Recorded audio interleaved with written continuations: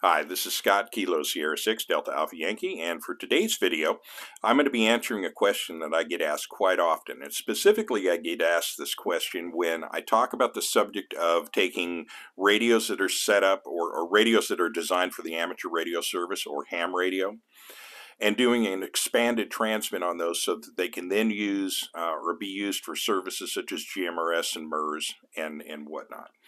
And the question that I get asked is, is it okay to use the antenna on the radio for that expanded transmit capability. So if the radio was designed for ham radio, can I use the antenna on the radio for GMRS? And I will say this.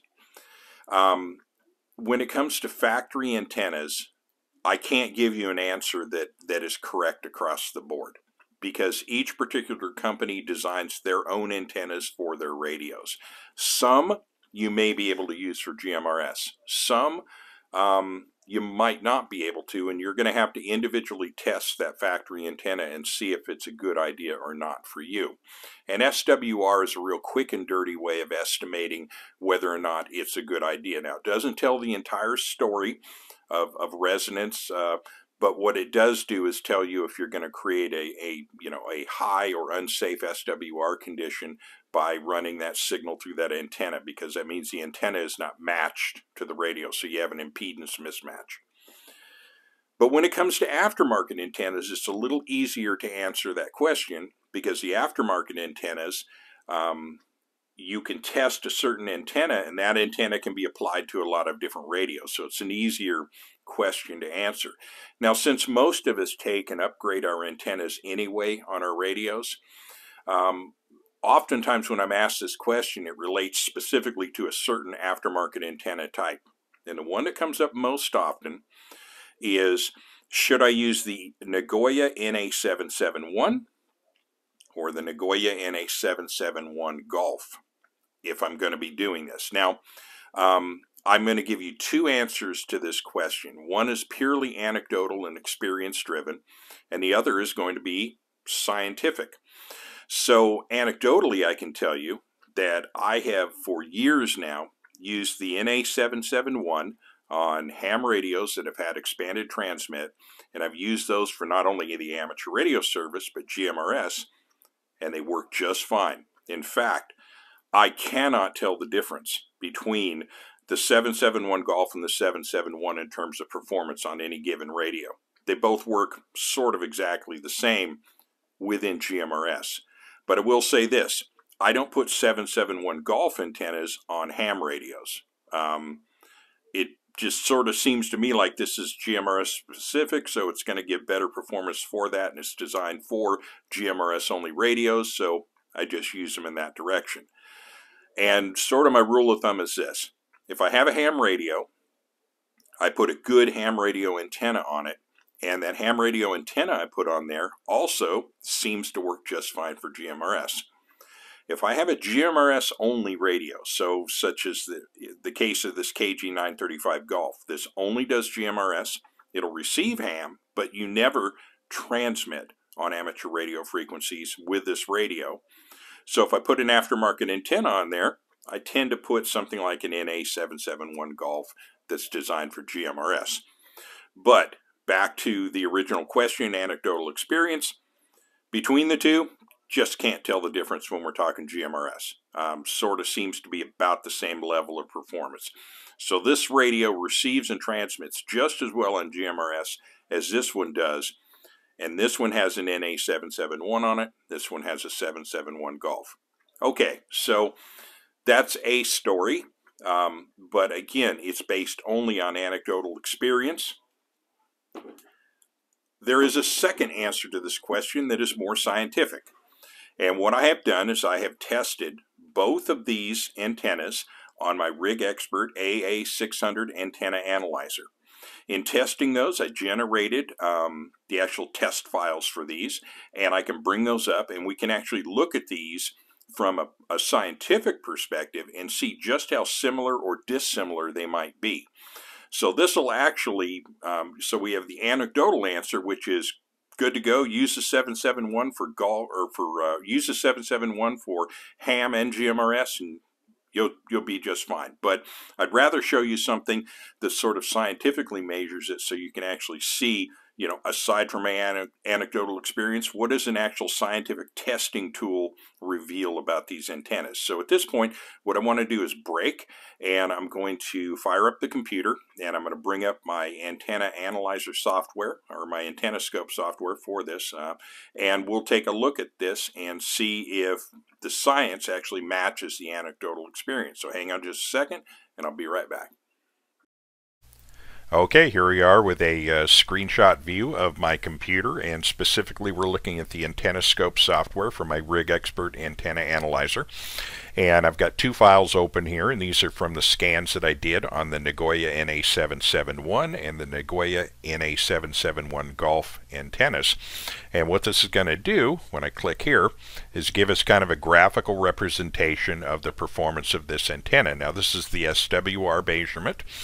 But uh, what we're looking for is the low points on this graph. So this is going to tell us that the Nagoya NA771 on the VHF side of things is at its best at 149.360 megahertz. And when we move to the VHF side, it is at its best at 449.959. You'll note also that the UHF performance is much better on this antenna than the VHF performance, and that's typical of a dual band antenna.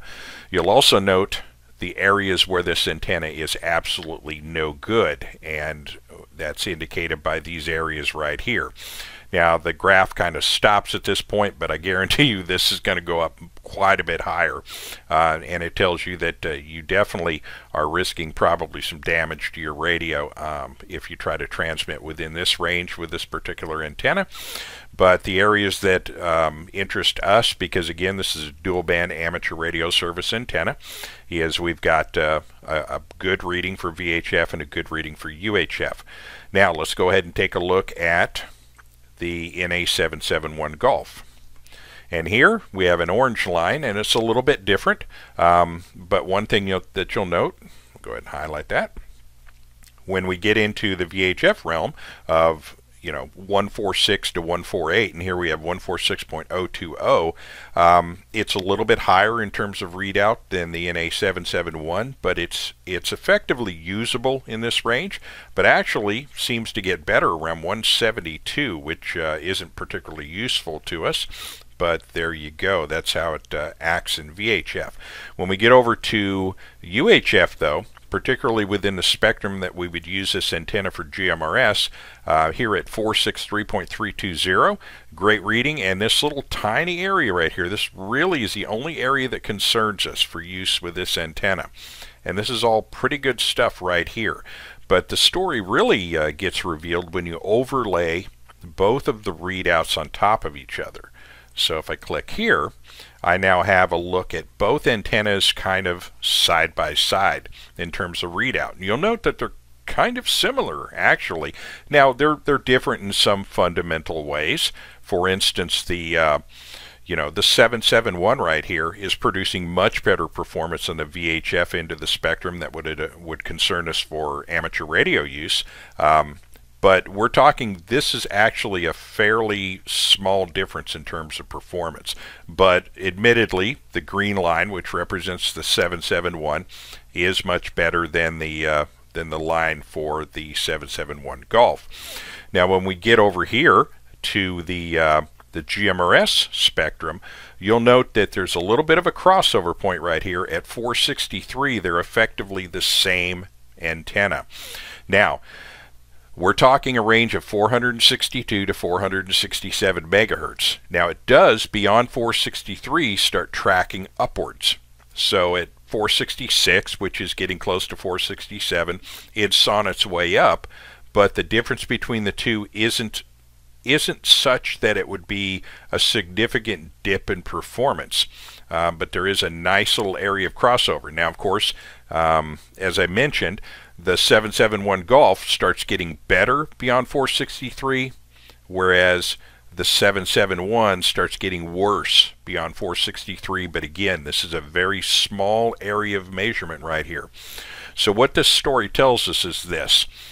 You can definitely use the NA771 not only for dual band amateur radio applications, and it's very good in, in that in that realm, but it's also perfectly usable for GMRS. So if I was if I were to have a radio that was an expanded transmit ham type radio that was set up so it could transmit on GMRS if necessary, I would have no problem whatsoever using the NA771 as a good all-around all-purpose antenna for both services. Now, of course, if I wanted, you know, to exploit the absolute best I could possibly get in terms of GMRS performance for a GMRS only antenna, yeah, uh, definitely. I'd, I'd go with the NA771 Golf because I don't need this this over here at all. It, it, doesn't even matter to me. So the better performer, yes, is definitely the NA771 Golf if you're talking strictly GMRS performance. But we're talking a very small amount of or, or very small increase in performance. So if you're using an NA771 antenna, just understand it's perfectly fine to use that for GMRS as well. At least it has been for me. And this readout right here can kind of back that up um, fairly adequately. And if you think about it, let's go back to that NA771 again. So if we're talking GMRS performance and it's a little bit of an uptick right here, little wee bit of an uptick, it's still lower than the best possible performance you can get out of the uh, VHF side of things. So uh, again, I, I propose that the NA771 is a perfect all-arounder for both services. And if you're GMRS only, yeah, of course, just go with the GMRS, you know, the 771 Golf for GMRS purposes. So I hope that kind of lays that uh, that issue to rest, and you can rest assured that uh, you know you're you're good to go if you've chosen the NA771 as an all-arounder. So with that, I've talked about this enough. I thank you for watching and or listening. This is Scott, Kilo Sierra 6, Delta Alpha Yankee from Visalia, California. Have a wonderful day.